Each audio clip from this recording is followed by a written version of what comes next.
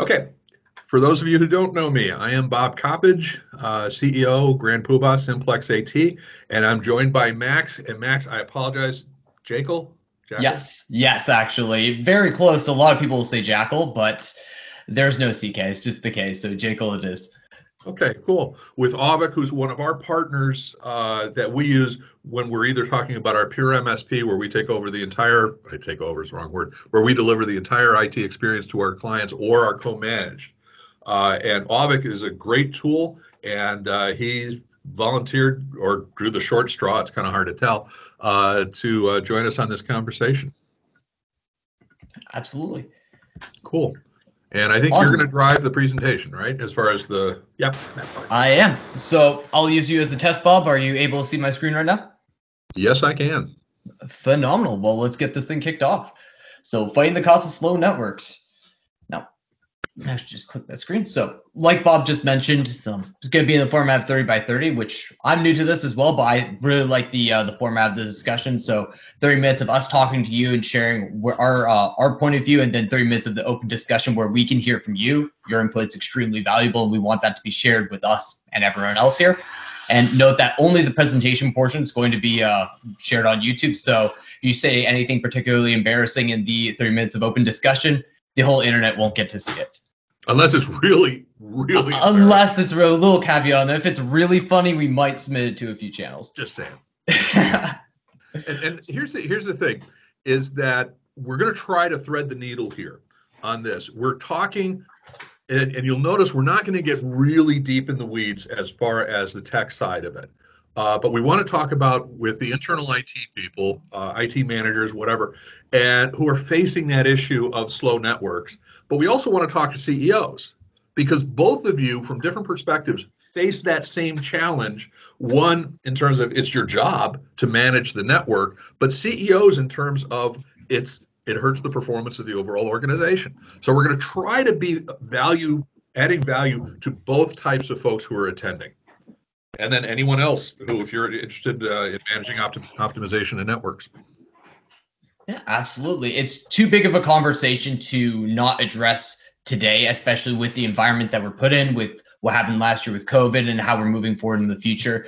This discussion is becoming up, uh, opened up to more and more individuals. Um, it's not just the IT managers who need to know about this now. It's almost more and more people in the organization are being drawn to the conversation. So again, anyone who manages the optimization of your networks, there's something here for you as well. Cool.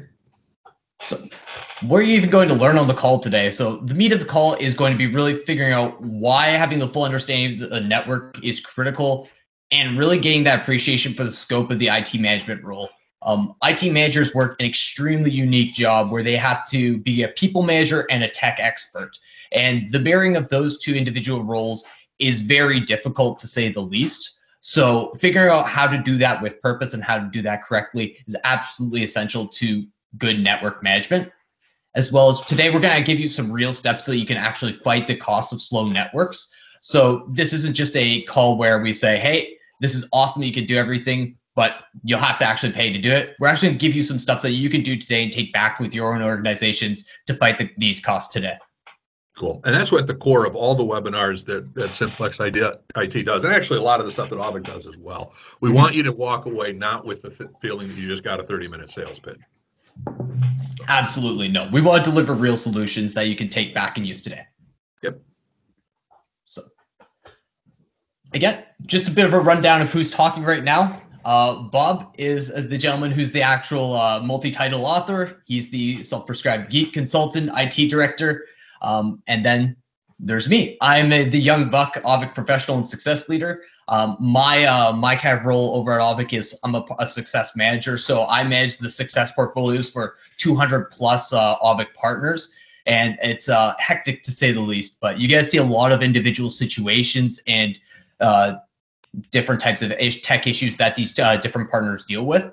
So a lot of that I'll be able to share with you guys today on specific ways that we can help um, help target some of those uh, areas that we need to cover, and make sure that again you get real value out of the conversation.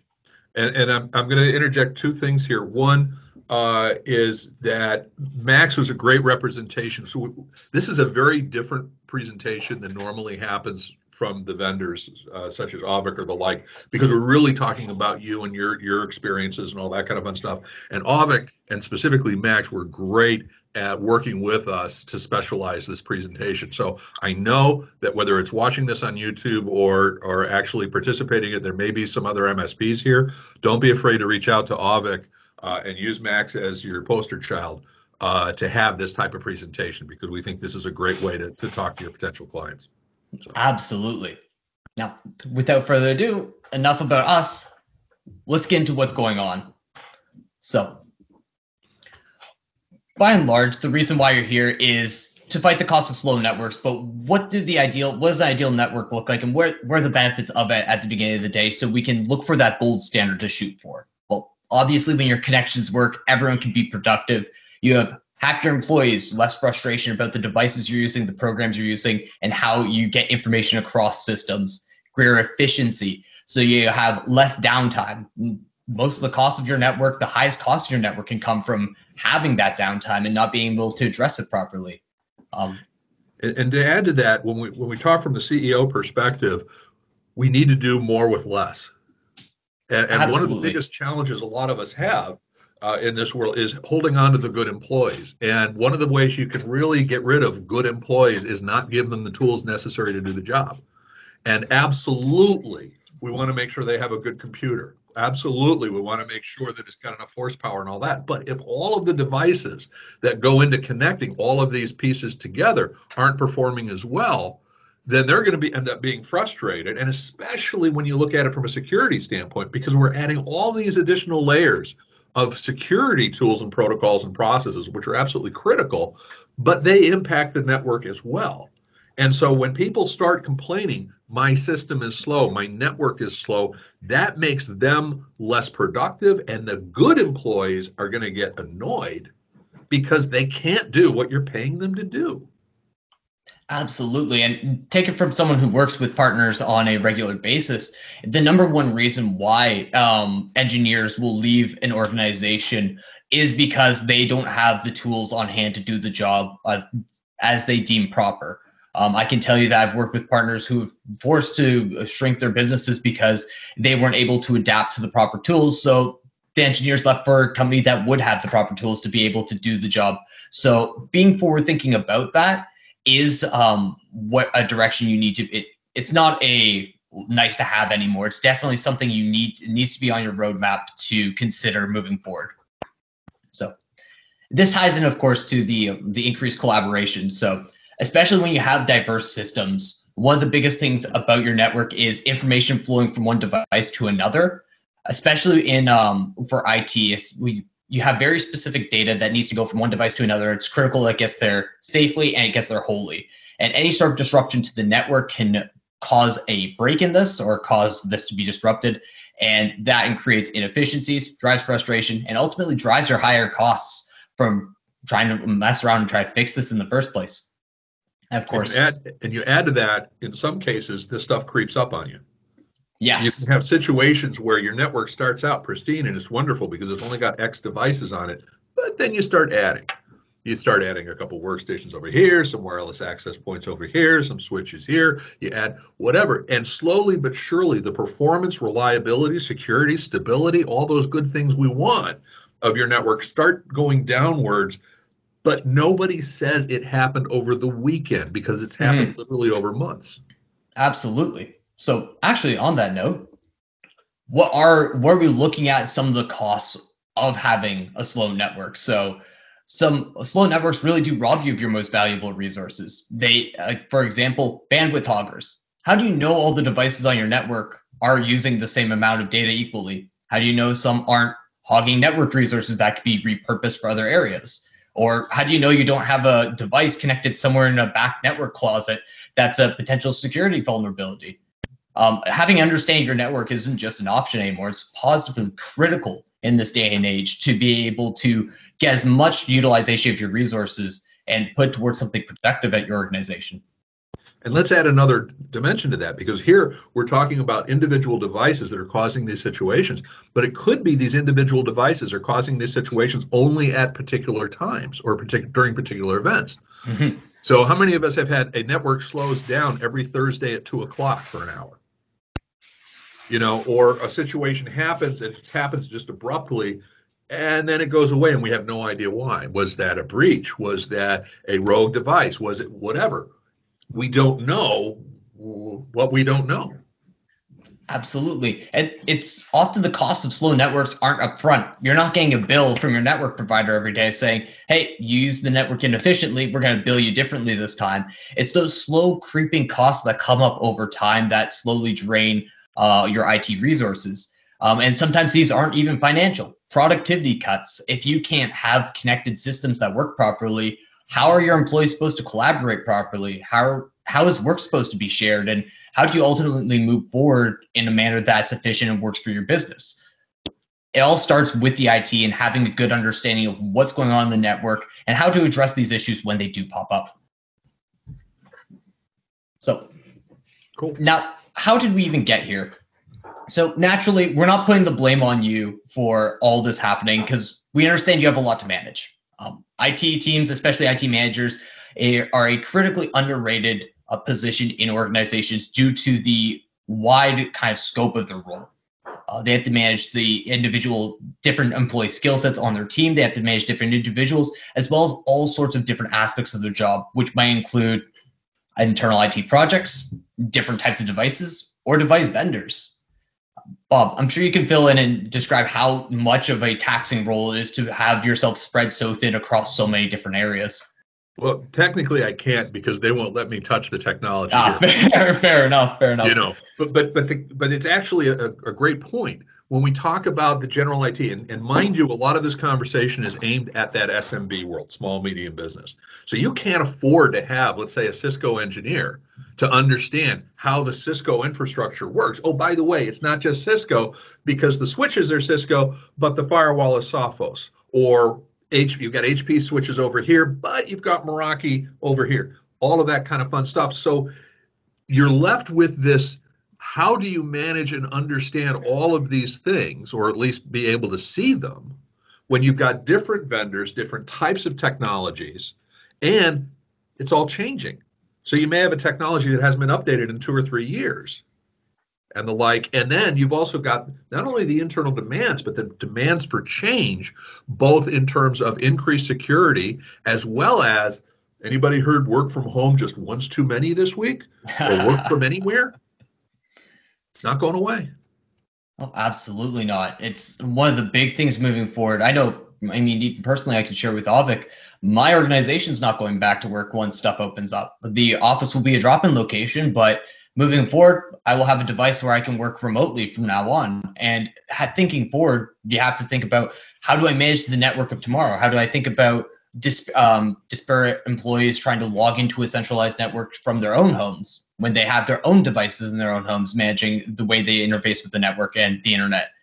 These kind of forward-thinking questions, we might not have all the immediate answers for as as a whole of society today, but thinking about the answers moving forward is imperative and will set you apart as an organization um, in the future dealing with networks. So, cool. along with, oh, I'm sorry, Bob. No, I'm just agreeing with you. Sorry if that sounded weird. No, it's all good. It's all good. so, along with this, we also understand that your IT team split into a bunch of different areas besides a bunch of different focuses. So the question is, how should you focus your time and efforts? And the unfortunate answer is you have to focus on all these areas because neglecting one area will only make the problems worse in others. For example, if we look at infrastructure management, if you have poor infrastructure management, but your security is fantastic, it won't matter too much because you won't be getting on your devices anytime soon. Or let's do the flip side. Your infrastructure is fantastic. You have all the devices set up, their warranties are up to date, you understand their information, but you have really shoddy security. So you're always vulnerable to potential attacks or potential bad actors getting into the system, or even just inefficient use of the network, where you have, might have employees, not to nitpick on what the employees do per se, but if an employee is doing an inefficient use of network resources, it could be a significant draw on your company network during hours where they really should be doing something more important thing for the organization. Absolutely. And you'll notice that even here, we're not even talking about the productivity side of the end users. here we're, we're kind of talking about the plumbing and the managing and making sure all the trains are running on time and all of that kind of fun stuff.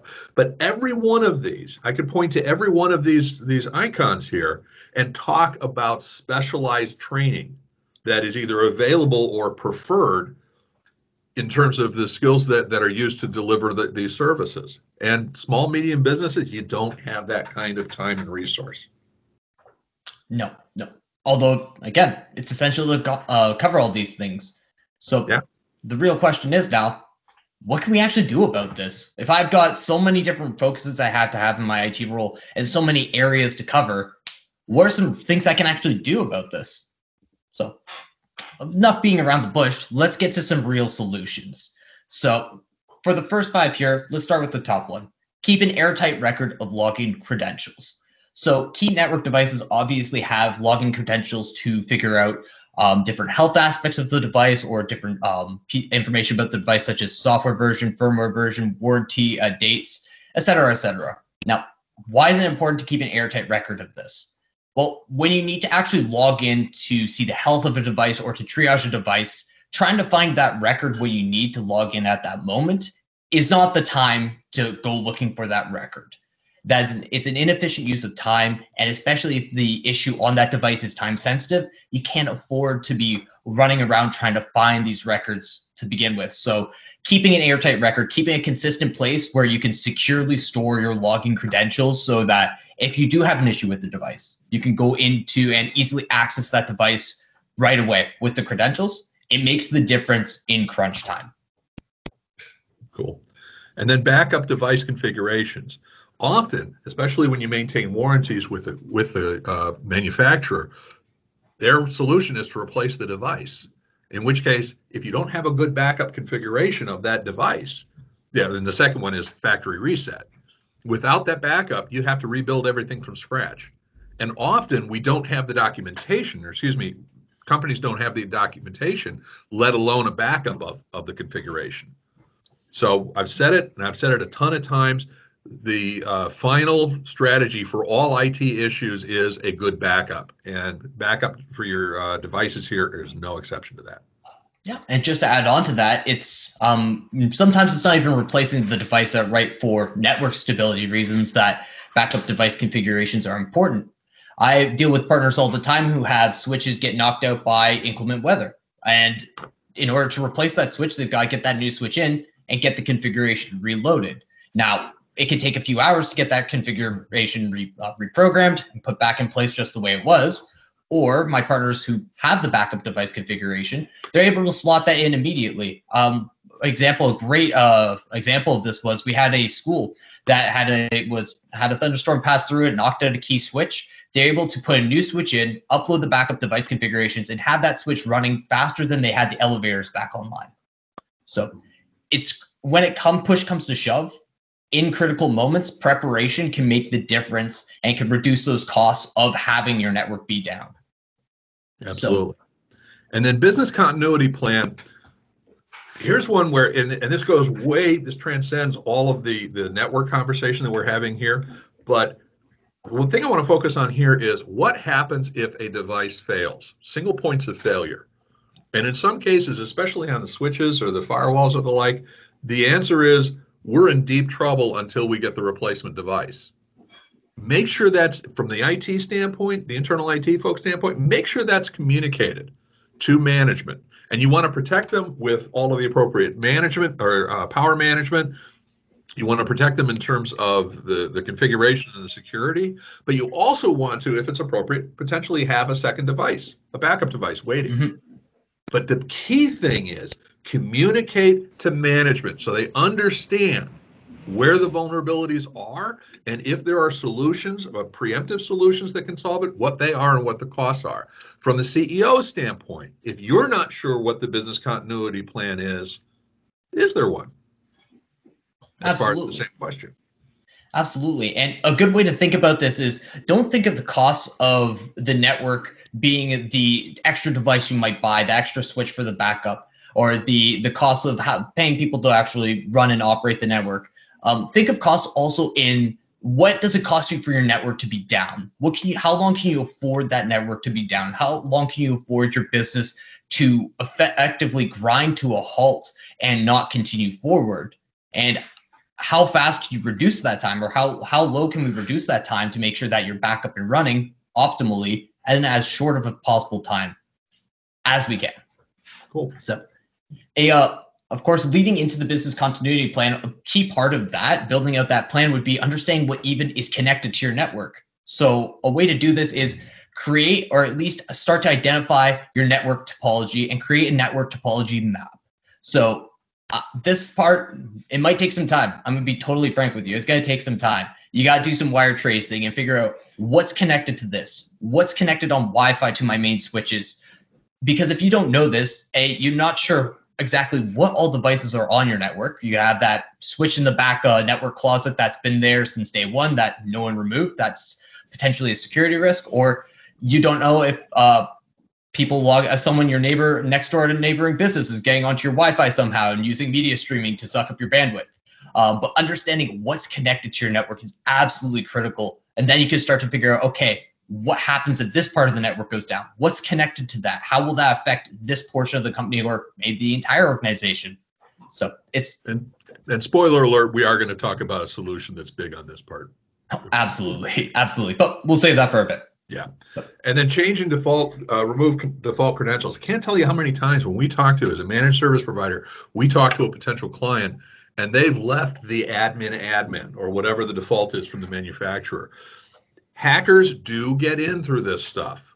The bad guys love this.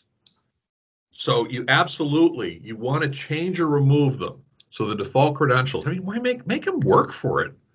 You know. Uh, hmm. so absolutely change those default credentials. That should be one of the first things you do when you implement these these uh, devices. And something just to add on to the very end there. Sometimes it's not bad actors. Sometimes it's just people who uh, generally aren't more aren't malicious curious new employees who are wandering somewhere they shouldn't and uh, logging to something they shouldn't and there's potential for issues to happen there. So it's not about always being afraid of maybe bad actors logging in but it's just making sure internally no one has a silly slip up and no one has a uh, an accident in terms of accessing the wrong device and yep. keeping that airtight. Cool. Right now on to the next five. So top one here deploy solid cabling practices so cabling is absolutely key still in networks today. Although uh, wireless uh, wireless and Wi-Fi allows to connect devices without having to cable in, frequently um, uh, organizations will still keep everything cabled together uh, for faster speeds, reliability, uh, and general uptime. Now the issue is if you don't have solid cabling practices, you're going to be dealing with a tangle just about everywhere, which makes tracing your network topology map that much more difficult um, and you might not have uh, be able to understand if the cabling is solid. Yep, absolutely. Uh, the next one on the update firmware frequently. It's been updated for a reason. And, it's one of those where whether it be performance, reliability, security, whatever, uh, you'd be amazed how many times, especially those situations where you need to refer to the uh, vendor uh, mm-hmm. and the vendor basically says, "Oh, you're four firmware updates behind. We can't help you." Mm-hmm. So you don't have to necessarily do it the day that the update comes out, but keep the boxes reasonably up to date. Absolutely. And to build on that with the third point here, if you don't have firmware, you won't get access to help from the vendor when you have an issue on that device. They'll ask you to update the firmware to the most recent one.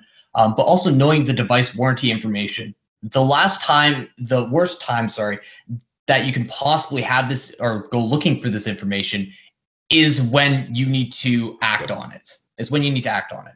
Yeah, the way I phrase that is the worst time to learn CPR is when someone's having a heart attack. yes, you know? it's a perfect example. Yeah, there, there there are things that you can do to prepare for the worst that are very very simple to do, except when you're doing it under duress. Exactly. Exactly. And, and to have a policy in place of what devices do you constantly keep up to date on and maintain through manufacturer's warranty and what you don't. And again, both from from a management standpoint and an internal IT standpoint, that's a conversation that both parties should be part of, so that management understands that every you know we're only going to make maintain the warranty for three years we replace every three years therefore it's not a budgeting fight every three years. It's an expected expense. And similarly if you try to let something last you try to milk every bit and bite out of it when you do run into the problem you can say to management this is you know remember we were trying to uh, uh, save money. This is one where it, it bit us in the tucks absolutely. so now looking at the the last two points, I'm going to touch on the first one first, of course.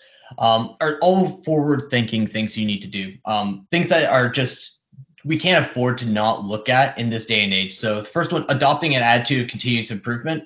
Main reason why is your competitors are doing it. Straight up.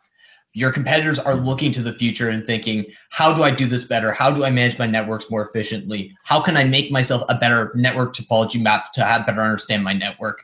And while it's not a direct competition to you necessarily, the cost can really have outlasting benefits moving forward. Being forward thinking about how do you fight the costs of slow networks frees up more resources to push organization further into your market, further into your business, um, and ultimately push these savings and value to your end customers. Absolutely. And to add to that, also integrate that with the business plans.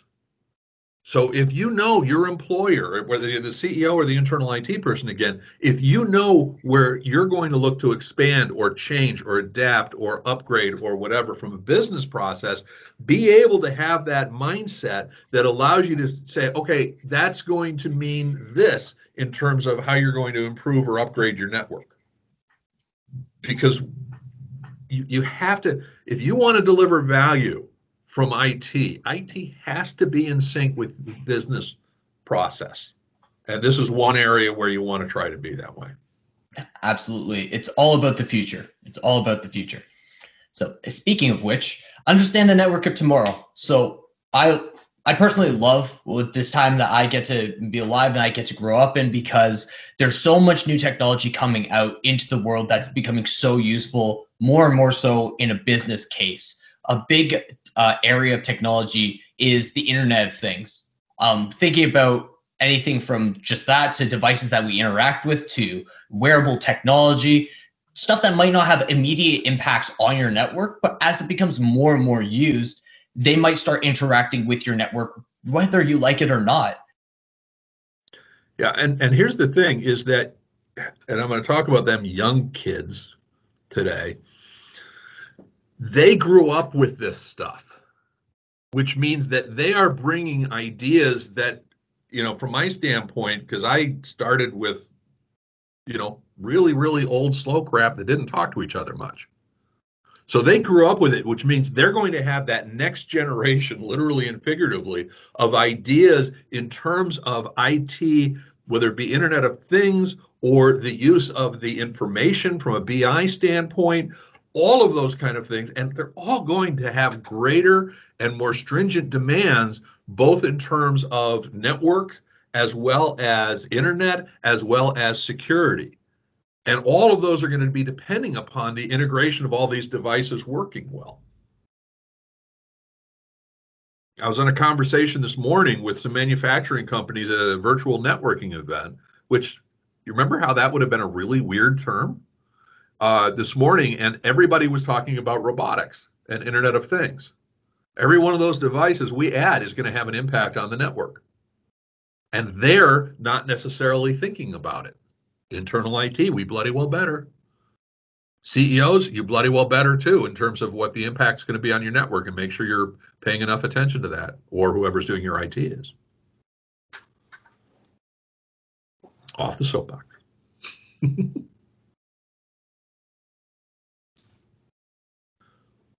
Max, I think you're muted.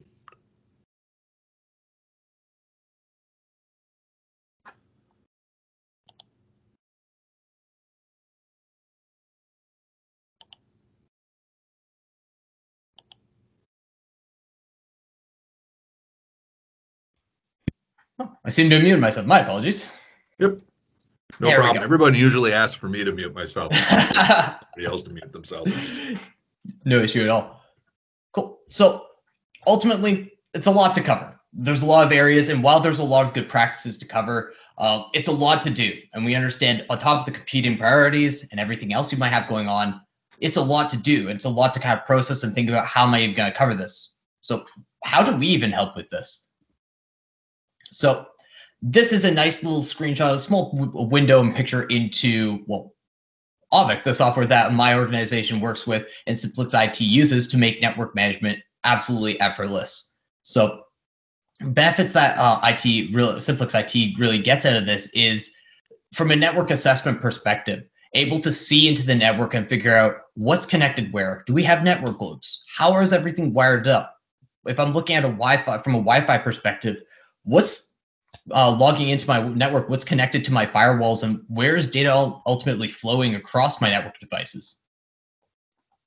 And of course, and to, and to add on to this, this is put together. I want to say automatically, and obviously we we use that term way too way too frequently and way too much. Mm-hmm. But for all purposes, there's just some small software that's running on the network that really scavenges this information, and with some configuration to the particular devices, everything is updated automatically on an ongoing perpetual basis.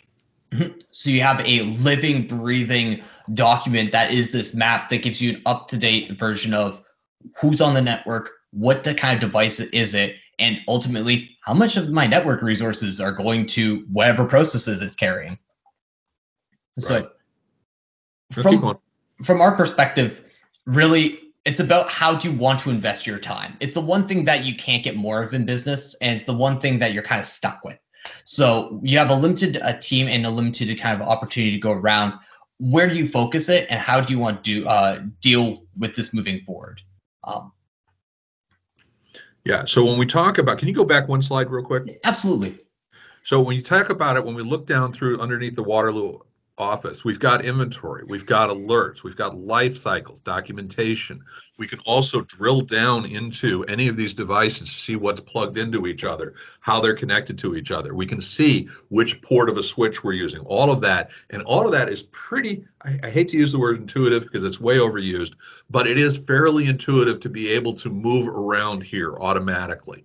So it's a tool that answers a lot of the questions and a lot of the challenges that we talked about earlier. Not all of them, to be sure. And it has to be managed and monitored by someone who's actually using this information appropriately. Mm-hmm. Uh, but it's a great and very, very simple way to handle a lot of the challenges. And you notice we're not saying it has to be all uh, Cisco or any particular vendor mm-hmm. uh, devices that are being used here. Absolutely. It puts your network on a single pane of glass. That's that's kind of the term that we like to use. Yep. Um, gives you a central spot you can look at it um, and have the idea. And I think um, Bob raised a really, really good point. This isn't a replacement tool. This is an enhancement tool to help that your team do a better job so you can fully utilize your resources that you have available to you. Cool. Of course. So some of the things that again that we pull out here that isn't exactly listed along the sides, but those how we made a big deal about configuration backups. The system automatically captures those on a regular basis. Um, network performance and proactive monitoring. The system acts like a manager who never sleeps, is always on, keeps an idea of what's going on in the network, and if something goes wrong, lets you know about it, giving you timely advice, um, and lets you know what's going on. Um, as well as something that's very important is understanding if someone goes into the network and changes things around, what did they do? Who logged in? And what exactly did they change? And if I don't like it, can I change it back to the old version? Well, you have all that through the system. You have ability to see what users go online to your network and look into your different devices. And if you accidentally say set the backup configuration to be a certain uh, have a certain code in it, and you accidentally lock yourself out of the device, Auvik is able to look into that and see, oh, you bricked yourself out of this device. Let's reload the latest backup configuration that worked so that you have the ability to go back in there and not continue forward with that error. Cool. Fantastic. So, again, um, if you, uh, we want to just say a big thank you again for you guys taking the time to join us and uh, learn a little bit more with us. Um, and of course, if you do want to see your network through Auvik's eyes, Bob is your guy to go to for that. Absolutely. And this is one of the things where, again, whether we talk about it from a pure MSP, where we do all of the internal IT work for a company, or co managed, honestly, we're about 50 50 as far as what we do.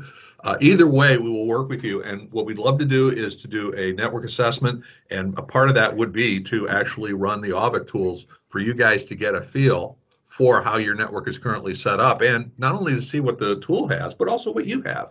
We'd love to set that up a lot of you guys know me. You know this is we don't do a lot of arm twisting. We don't do a lot of heavy-handed. Oh, everything is horrible until you sign us up or anything along those lines. Uh, but we'd love to talk to you about uh, uh, basically using Auvik to give you some eyes on your network. So contact us on that. And with that, Max, are you ready to open it up and hear some questions from people? Absolutely. Let's get out of the presentation. Hey, Bob Coppedge, Crotch Geek, CEO Simplex IT, all that good stuff. First of all, thanks for watching the video and or fast forwarding to the end to see how it turns out. Whatever. Uh, just wanted to let you know we've got a couple other webinars coming up uh, on March 16th uh, Simplex IT, we will be presenting how to calculate the cost of downtime. And that's actually just going to be walking through for both CEOs and internal IT folks how do you really calculate what the cost of downtime is for your organization.